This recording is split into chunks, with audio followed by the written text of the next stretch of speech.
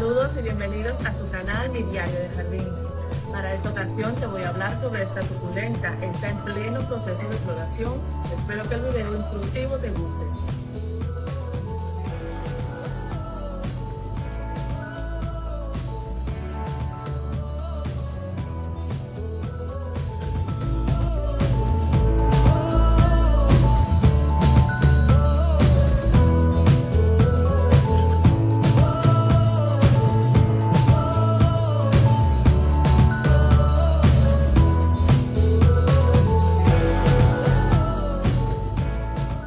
Hablaremos en esta ocasión de la planta conocida como Wernia schneideriana. Es una suculenta ornamental, encontrada en viveros de todo el mundo. Cada terrario tiene una de colección, es que es de fácil cultivo. La suculenta Wernia es del género de la Apocynaceae. Tiene más de 60 especies. Son plantas nativas del este de África. Las características de esta planta suculenta se corresponde a que el híbrido se caracteriza por desarrollar tallos de 12 centímetros. El sistema radical es corto y fibroso. Los tallos son carnosos. Exhibe una coloración verde. Los que están divididos entre 4 y 5 tallos largos que crecen de manera en espiral. Las flores lobuladas de color vino están relacionadas estrechamente con el género Estapelia. Se notan flores visibles que presentan numerosos puntos, aunque se describen como insignificantes.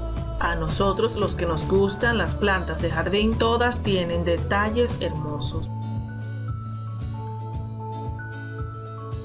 Esta planta florece y la flor puede durar de 4 a 5 días. Las flores abiertas pueden superar los 2 centímetros de diámetro.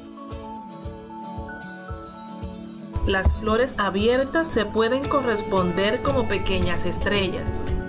Pueden dar más de una saliendo desde la misma base. El cactus puede llenarse de ellas como es el caso del mío. El sustrato que utilizo para la planta Wernia es permeable, muy sencillo, en tan forma que no sea compacto. La maceta debe tener buen drenaje para que no se encharque y luego dañe el sustrato haremos una mezcla de arena gruesa, algo de humus y compost y perlita. Este es el sustrato que utilizo para mis cactus o suculentas en el área del terrario. Nuestra huernia prefiere climas cálidos. No se debe exponer a temperaturas inferiores de los 5 grados Celsius. Su multiplicación es sumamente sencilla. La realizo a través de esquejes, los mismos tallos que suelo recortar los dejo de un día para otro para que seque la salvia y luego lo coloco en el sustrato para que echen las raíces. Iluminación. El cultivo de esta planta en zona iluminada dará mayor cantidad de flores y tendrá un crecimiento constante, pero como siempre evitando el sol directo de la tarde.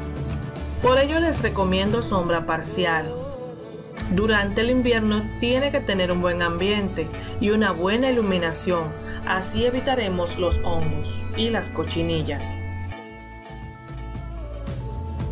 El riego para mantener nuestra huernia debe de ser húmedo en verano y ocasional en invierno. El riego es sencillo, en general las suculentas no son de riegos continuos, de 2 a 3 riegos por semanas bastará. Lo que no debemos olvidar es que debe tener buen drenaje la maceta para así evitar la pudredumbre o la aparición de hongos.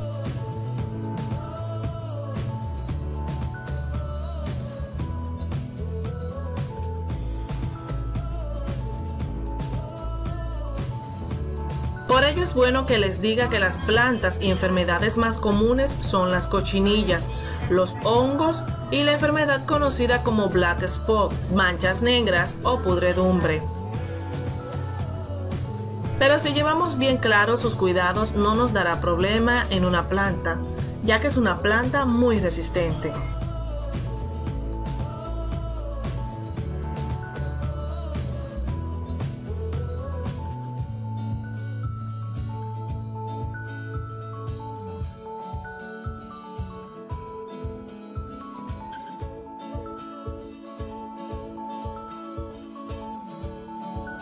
Para el abonado les puedes agregar un fertilizante líquido hidrógeno.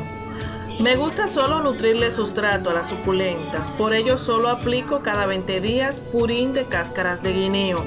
Esto les encanta. Cada tres meses una ligera capa de sustrato para suculentas que preparo y todo estará listo.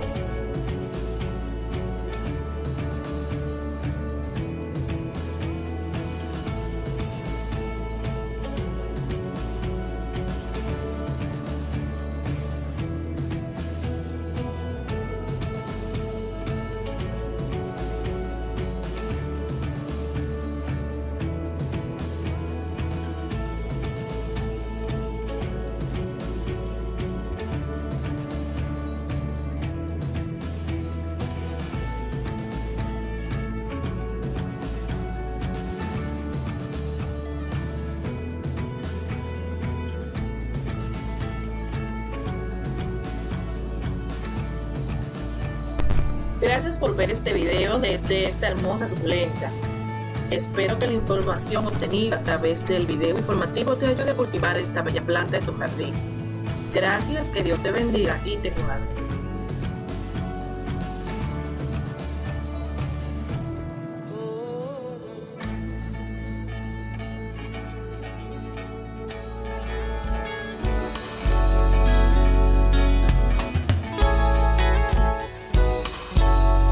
Gustado este video, dale like, suscríbete y clipa la campanita para recibir más videos como este.